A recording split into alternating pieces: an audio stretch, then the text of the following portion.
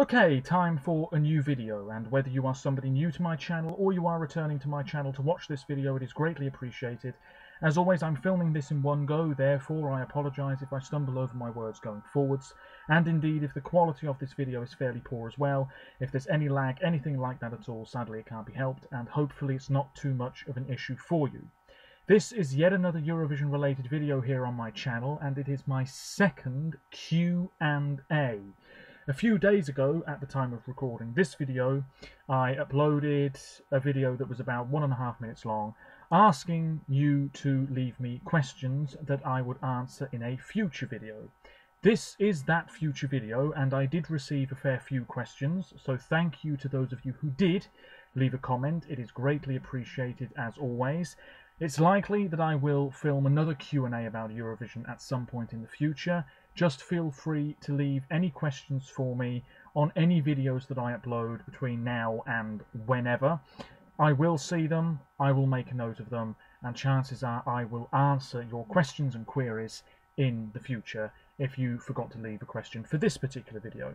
Anyway, I have the comments right here. I'm just going to go right through them. I have seen them all, I have thought about them all a little bit, but uh, I do need to uh, really think about my answers again here, of course. The first question here is from Mark, who says, Do you think some artists from this year deserve to be an interval act in 2021, like Iceland? What do you think about that? Um, I think it's an alright idea. At the same time, a lot of the artists who would have competed in this year's competition in Rotterdam will be back for 2021. So there's not much point having them as an actual artist representing their country and as part of the interval. For those artists that won't be coming back for 2021, we won't be seeing Sandro for Cyprus, we won't be seeing Ulrikke for Norway. Having them as part of an interval act, yeah, fine. If the Dutch broadcasters, who are teaming up, of course, decide that that's what they want to do, great. However, I think that they're going to stick with their original plans as much as possible. And we've already had the Eurovision Europe Shine a Light replacement program. So, my answer to your question is I'm not sure if deserve is the right word, but certainly if the broadcasters in the Netherlands decide that actually, yes, we do want those artists who were going to be in the 2020 contest but aren't here for 2021. We want them to make an appearance.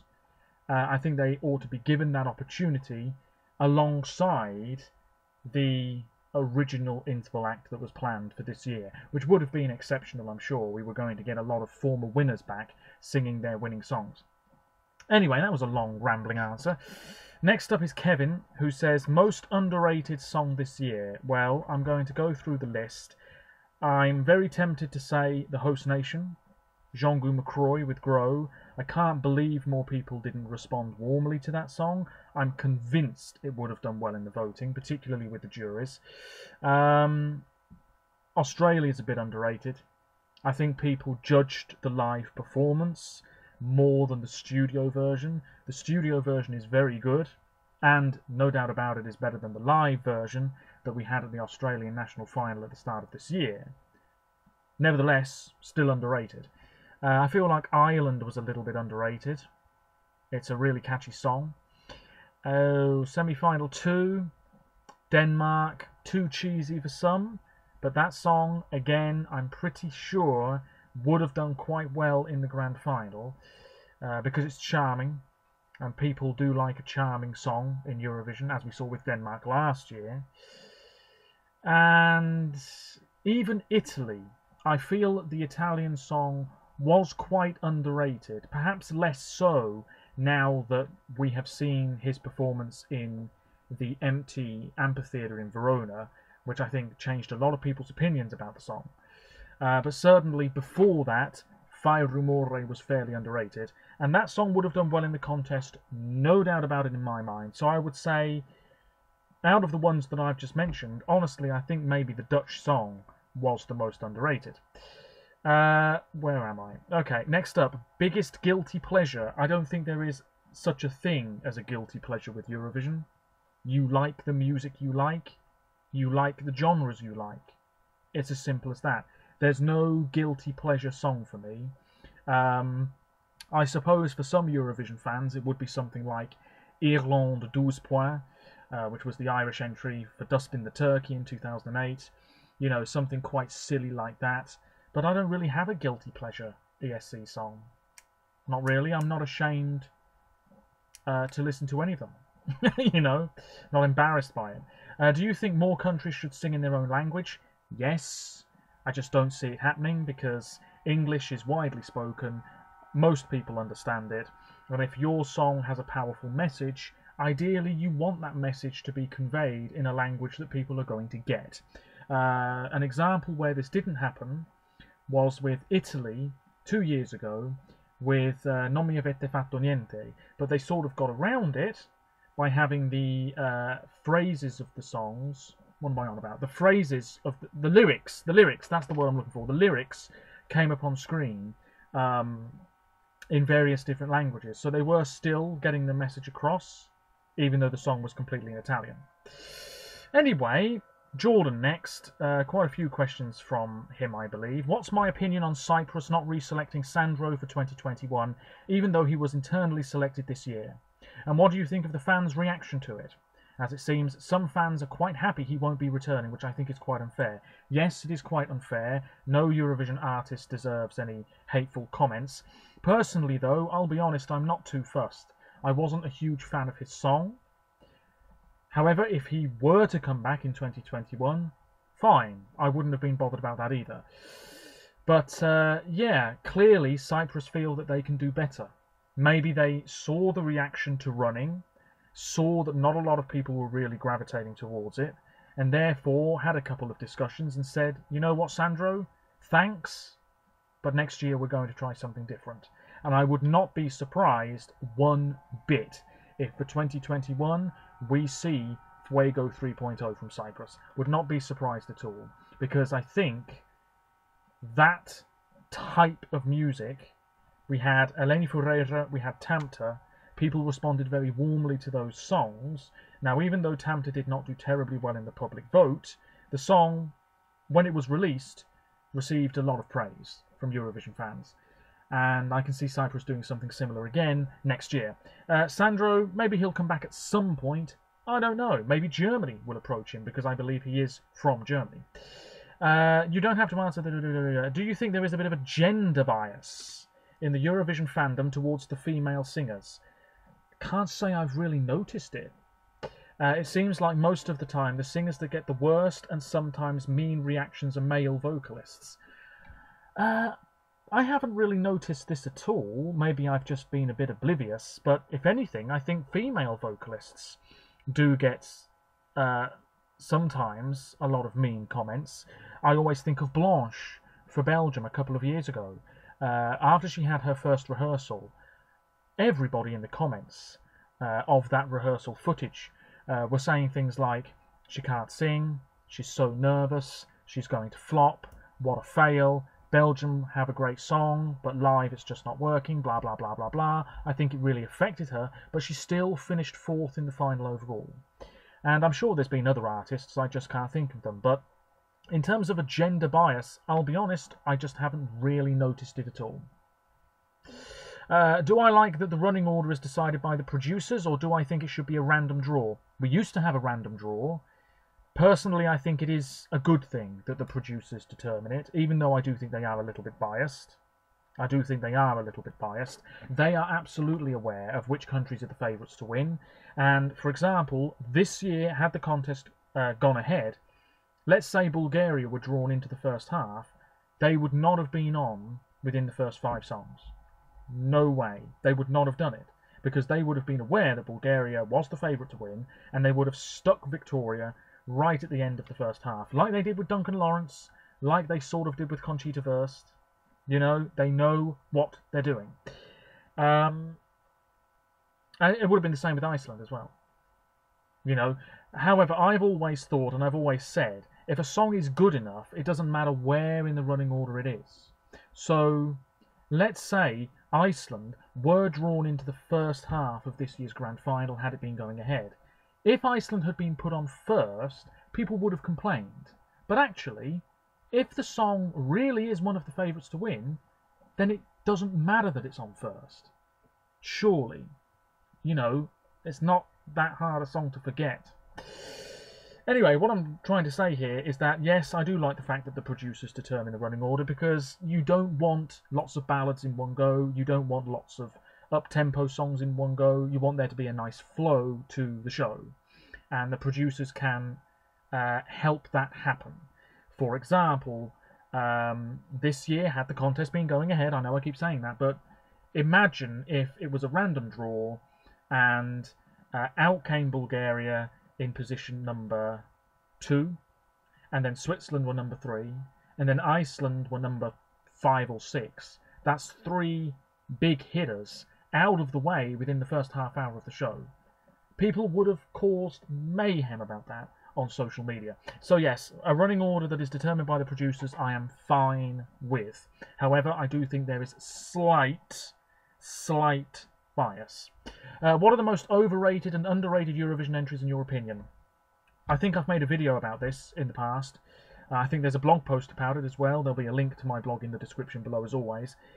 Overrated, Beautiful Mess. I've said it. There it is. Kristian Kostov, Beautiful Mess. I think that song is fine, but the second best song of 2017, I'm not too sure about that. Um, definitely, and I've always said this one, Angel, Mika Newton, Ukraine 2011.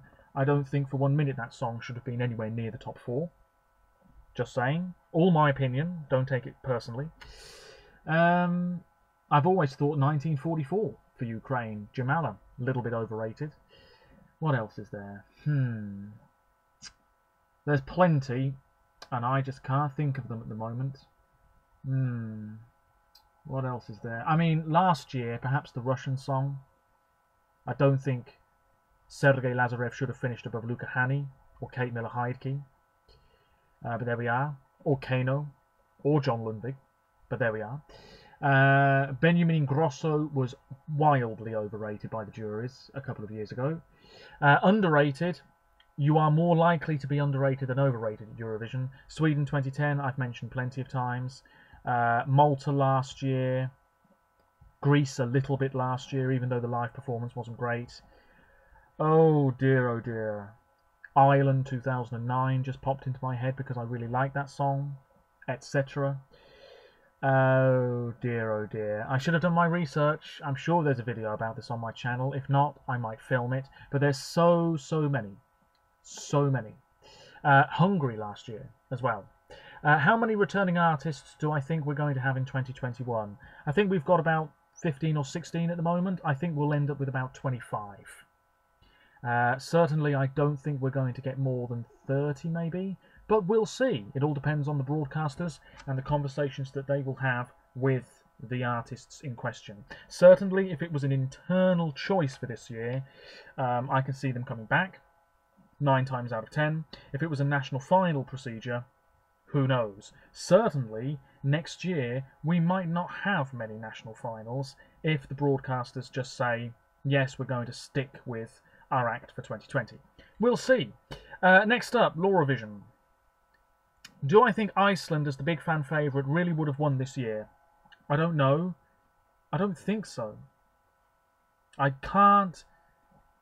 I couldn't envisage. That's what I'm trying to say. I couldn't see the juries really going nuts for this. I mean, you have to finish in the top three of the public and jury vote. Ideally. And I think Iceland probably probably would have done, but no. I, I, look, I'm saying it now. I just don't think Iceland would have won this year. I think Bulgaria might have done it. Switzerland would have pushed for the win. I'm sure Sweden would have been up there as well, and Russia. I don't think Russia would have won for one minute, but you never know. We'll never know. Uh, if Iceland had won this year's contest, had it gone ahead, I would have been thrilled about it because it would mean Reykjavik 2021, and I would absolutely try and go. Um, what placing do I think the UK would have received on the scoreboard this year? Do you think we would have come last again? Probably.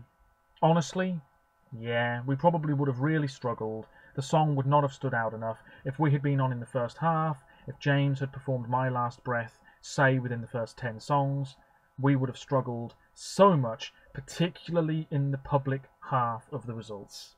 It's a shame to say it, but there we are. Do I normally prefer or agree with the song that ends up winning, or do I prefer the runner up? You seem to prefer the runner up. Well, let's go through the past uh, 10 years or so. 2010, uh, I prefer the winner.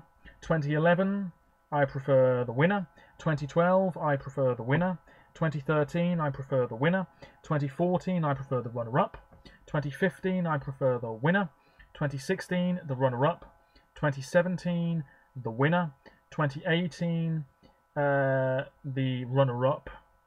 2019, the winner. So I usually prefer the winner. Saying that, I'm not always a huge fan of the winning song.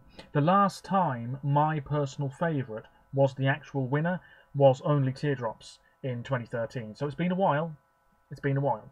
Uh, out of all the artists that have been confirmed to be returning next year, which are you most looking forward to? Uh, you've mentioned John's Tears and Montaigne. I'm definitely looking forward to seeing what they bring to the Eurovision table next year. Uh, I'm looking forward to see what I'm looking forward to seeing what Hooverphonic do. Um, I think Eden will have a very strong song for Israel. Uh, I'm sure Destiny will have a very strong song for Malta. Jeangu for the Netherlands. Roxen for Romania. Really looking forward to seeing what song she has. And uh, yeah, those are the only ones so far. Uh, where am I? Let's have a look here. Uh, yes, moving on. Ranovic. What countries do I think have the hardest chances of winning the ESC? Um, the countries that I think have the most difficult time of it are those countries where maybe their music scene isn't as widely developed as somewhere like Sweden, for example.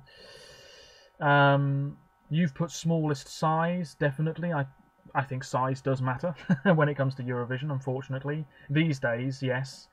Uh, but you know, small countries are capable of winning. Azerbaijan did it, Israel have done it. Um, lack of neighbouring voting, that can damage your chances, more so perhaps in the semi finals. Uh, anyway, continuing the previous question, how can you explain that Iceland, Malta, and Cyprus didn't win until now? Well, they still haven't won. Uh, while countries like Luxembourg and Israel won, and quite a few times. I just think music tastes have changed. I think more countries participate. That is perhaps the number one reason. It's so hard to win Eurovision. It really is.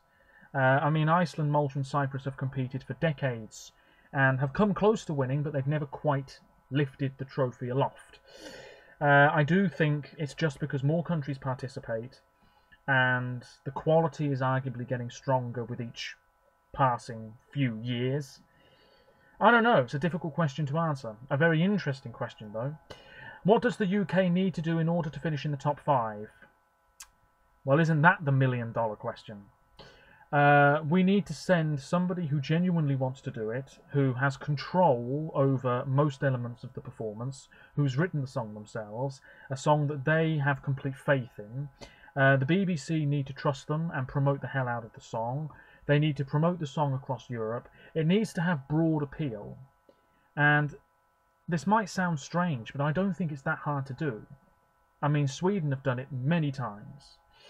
Um, do I think the BBC doesn't want to win? I do think the BBC has more pressing issues. But one thing is for sure, if the BBC was to stage Eurovision again, they would put on a very spectacular broadcast. No doubt about that. Uh, so yeah, the UK, in order to finish in the top five, they need to send something current and not something safe. Maybe that's the best way I can answer it. Next question from Bars. Which country do you want to see returning to the contest the most? Andorra, because they are the only country to participate but not participate in a Eurovision Grand Final. But honestly, whichever countries come back, I'm happy for. The more the merrier. Do I predict, this is from Nathan, do I predict that next year's top 41 will remain fairly similar to this year's in terms of the odds? Or will the tables turn and countries like Lithuania, Bulgaria, and Switzerland end up as low rated entries? I don't know. Very interesting question. We will find out uh, soon, of course. Um, I do think Bulgaria, Lithuania. Bulgaria and Switzerland, I do think, will be favourites for 2021. I have a feeling they will be. Lithuania, I'm not too sure about. Depends if the Roop are involved. Um, I mean, we might see a country like Estonia be one of the favourites next year when they were complete uh, outsiders heading into what would have been this year's contest. Uh, maybe Norway next year will really struggle, whereas this year they would have surely done very well. Very interesting question. Uh, I think Russia will do well next year. They'll be one of the favourites again. Sweden will be as well. Uh, Iceland, that'll be very interesting. We shall see. Very good question. Uh, and then another one from Ranovic. Who do I consider as the top 10 power horses countries? I think you mean powerhouses, but I know what you mean, in the Eurovision history. Well, let's think about this. Let's think about things. Okay, the top 10 powerhouses, you know, the countries to beat. Sweden, obviously. Why? Because they arguably have the best songwriters in the world, they know how to do pure pop, and they have such a well-developed national final format that is tried and tested, and everybody seems to pay attention to it closely every year, they're just on the money. Russia, why? Because I think they have this really intense desire to win. Italy, because they have, they just do their own thing. They have Sanremo, but it's not strictly speaking a national final. Classy, very successful musicians more often than not in the running. Fantastic. Sweden, Russia, and Italy. Uh, arguably, Italy is the powerhouse nation more so than Sweden. Um, Italy is the country to beat more often than not, I feel, especially as we move into this new decade. Uh, who else is there? I would have said Turkey, but they're not in it. I, am going to put Norway down because certainly they've had some very strong results over the past few years. Um, I think Norway have certainly uh, moved on from those null points and last places. I think it's going to be a while before Norway really struggle again. I think they've got Eurovision on lock, if you see what I mean. Um, oh dear. Who else? Really, it's very difficult to say. I mean, Ukraine always qualify. Definitely um, have impressed ever since they debuted in 03. Won twice.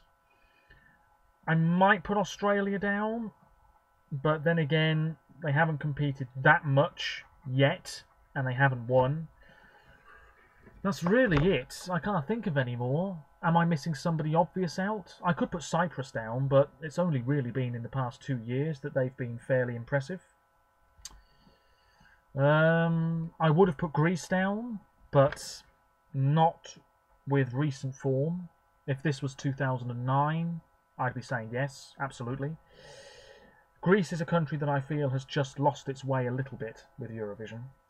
Uh, they're not always regular qualifiers now. Uh, who else is there? Hmm. Hmm. There is somebody else that just popped into my head and I've completely forgotten which country it is. The Netherlands, of course, are usually pretty strong these days, and I would have said Belgium a few years ago, but not so much now. That's really it. I can't think of anybody else. Sweden, Russia, Italy, Norway, Ukraine, Australia, maybe, and the Dutch. And that's all the questions, ladies and gentlemen. This video ended up being a little longer than I expected, but I've answered every single one, I think. And feel free to leave questions in the, the comments section of this video as well. I will see them, I will make a note of them, and I will answer them at some point. Feel free to leave video suggestions as well. Check out my other social media pages. It's greatly appreciated. Now that the Eurovision season is absolutely dead and buried for this year, uh, it's going to be more and more difficult moving forwards to talk about Eurovision related material. If there's something you want me to talk about that you haven't seen somebody else on YouTube discuss, let me know, I'll make a note and I'll get on it as soon as possible. Thank you to everybody who left questions, greatly appreciate it. Feel free to check out my other videos as well. If you're new to my channel, First of all, thank you very much for checking this out. I have lots of videos for you to enjoy on my channel, so please go and look at them if you so wish. Most of them are over 20 minutes long. I ramble a lot. You have been warned. Yes, I really do think that's about it now. Apologies if the quality wasn't that great. And that's it, my second Eurovision Q&A. Thank you very much for watching. Until next time, whenever that will be, bye for now.